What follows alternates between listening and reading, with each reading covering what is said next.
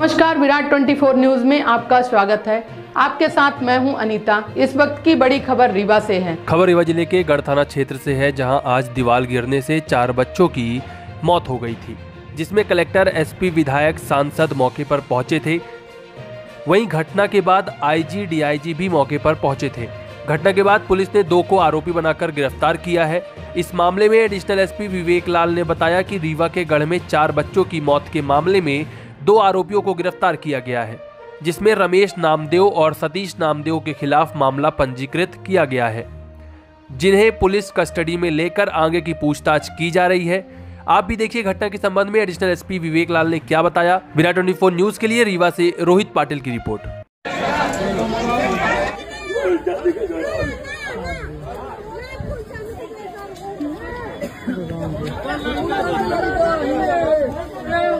Mother, you're there.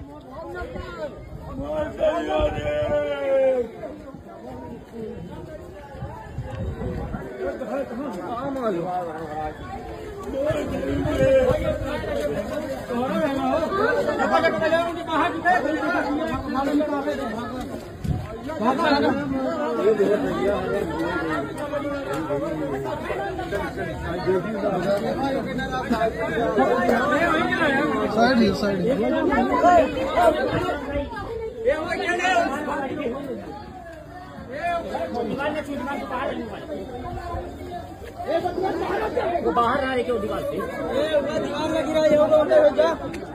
अब दबे हैं हाँ? दबे हैं भाई।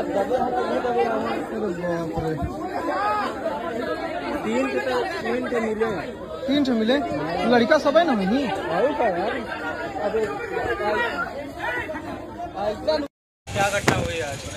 यहाँ पर स्कूल के बच्चे जा रहे थे तो दीवार गिर गई थी जिससे बच्चों को बच्चे गंभीर चोट में हैं और कुछ मृत भी हो गए हैं? ये घर जिसका घर है उसकी लापरवाही है इसको ये दीवार एक बार और गिर चुकी थी पर रात में गिरी थी तो किसी को कोई चोट नहीं पहुँची थी और तभी माँ बोला गया कि अपनी दीवार सुधरवाइए तो पूरी तरह से गिरवा दीजिए। फिर भी उन्होंने कोई इसके प्रति एक्शन नहीं लिया। जब घटना हुई तब आप मौजूद थे? नहीं हम मैं अपनी क्लास में पढ़ाई कर रही थी टीचर आए बोले कि क्या कहते हैं दीवार गिर की बहुत से बच्चे फंस गए हैं तो मैं सोची कि कौन फंसा होगा हम लोग दौड़ के आए कि कौन फंसा तो देखे कि हमारे भाई बहन भी थे। आपके भाई बहन को भी चोट आई? हाँ? आपके भाई बहन को भी चोट आई? चोट आई है तीन मर, मर गए हैं। और भाई एक भाई और दो बहन मर गए हैं और एक अभी गंभीर रूप से बीमार है। हम्म,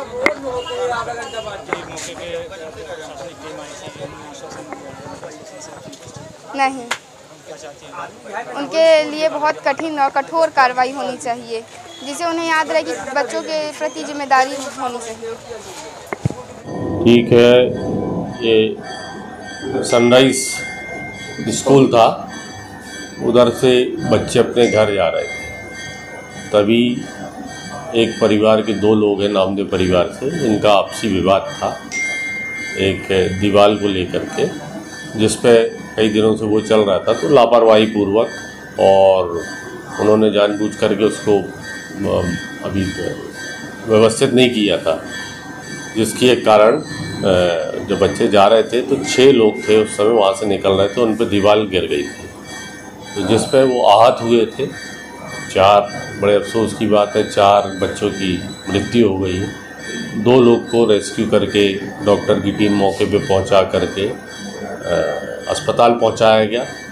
जिनकी स्थिति में अभी काफ़ी सुधार है और अभी हमने बीएनएस के तहत 125 से 106 एक 290 और 105 के तहत कार्रवाई कर दी है। आरोपियों को गिरफ़्तार कर लिया गया। इन्वेस्टिगेशन हमारा जारी है। सर आरोपी का नाम एक बार बता दीजिए। अभी प्रथम दृष्टया रमेश नामदेव और सतीश नामदेव। जी जी। इनके नाम आए।